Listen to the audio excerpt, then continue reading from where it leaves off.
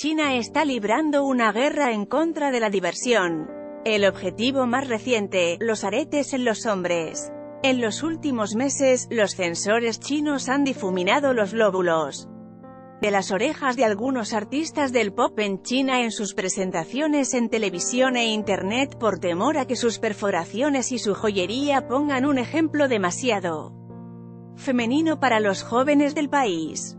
La prohibición provocó gestos de fastidio e incluso algunas bromas, pero ilustró la tenebrosa interferencia del Partido Comunista hasta en los detalles más triviales de la vida en China. Los aretes de los hombres no son el único artículo objetivo que los censores chinos están difuminando, cubriendo o recortando. Los jugadores de fútbol llevan manga larga para cubrir sus tatuajes. Las mujeres que visten disfraces en una atrevida convención de videojuegos han recibido la instrucción de cubrir sus escotes.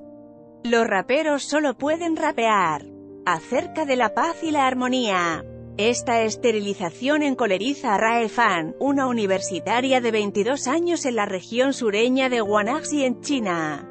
Algunas de sus películas favoritas estadounidenses y surcoreanas han desaparecido de las plataformas locales de emisión en continuo.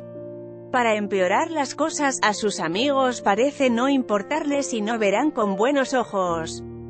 Nada que parezca una crítica al gobierno. Sus padres, ambos servidores públicos, le dijeron que de cualquier modo era mejor que no viera esas películas. En otras palabras, la censura está funcionando. El propósito de este tipo de control es garantizar que todo el mundo comparta los valores dominantes, afirmó Fan. Será más fácil controlarnos. El esfuerzo del Partido Comunista de inculcar lo que llama valores socialistas principales patriotismo, armonía y civilidad, entre otros, se está intensificando. Cada vez con más frecuencia se suprime el contenido que fomenta la devoción por el dinero, el hedonismo o el individualismo. El tipo de material que apenas hace unos años era aceptable ya no lo es. En unos cuantos años, los jóvenes de la actualidad habrán visto menos contenido sin editar que aquellos que sean solo 5 años mayores. Al no saber qué es lo que desconocen, es probable que se muestren más receptivos ante la doctrina del partido y se vuelvan más fáciles de dominar.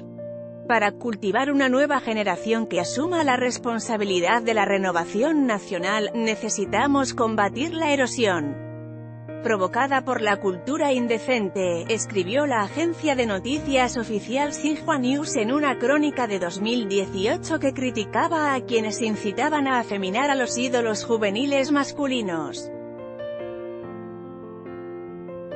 Lo más importante es que necesitamos alimentar una cultura excepcional. Al igual que el Internet en todo el mundo, la comunidad china en línea puede intercambiar contenido vulgar y provocador.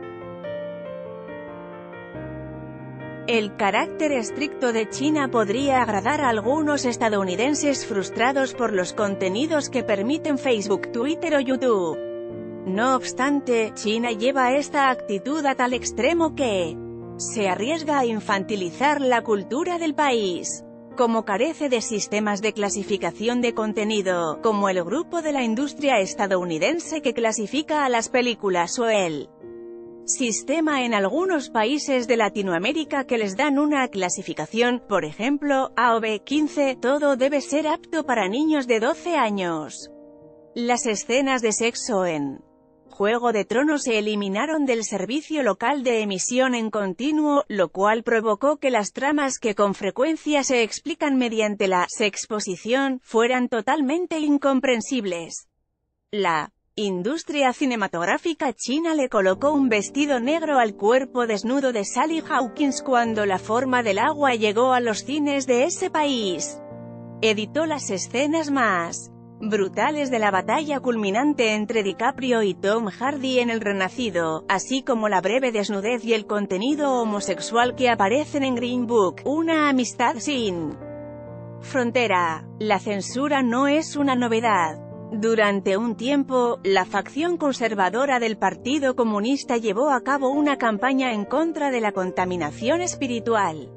Durante mi niñez, en China en la década de los 80, al Partido Comunista no le gustaba la música pop, los pantalones acampanados, el cabello con permanente, las historias de amor ni los besos. No fue sino hasta 1980 que se vio por primera vez un beso en el cine en la China contemporánea.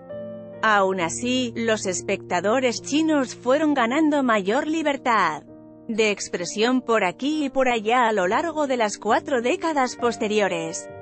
Por eso, para algunos habitantes chinos de mi generación, las nuevas medidas enérgicas en la industria del entretenimiento son alarmantes, aun cuando los objetivos en ocasiones son populacheros o vulgares. Hace dos años, las emisoras de televisión e internet comenzaron a difuminar los tatuajes. Un programa de detectives cubrió la sangre y los cadáveres con efectos borrosos. El año pasado, las colitas de caballo en los hombres se sometieron a la misma acción de difuminado. En el Internet chino hay tanto difuminado que ya existe un término para ello, exceso de mosaicos. Si un presentador decide teñir su cabello y mostrar sus tatuajes, aretes y cola de caballo en un programa de variedades, que quedará en la pantalla, cuestionó un blog de entretenimiento llamado No. 3 Theater Inspector. Hace dos años, apuntaba el blog, el presentador habría sido considerado normal. La industria del entretenimiento no tiene más remedio que seguir la corriente.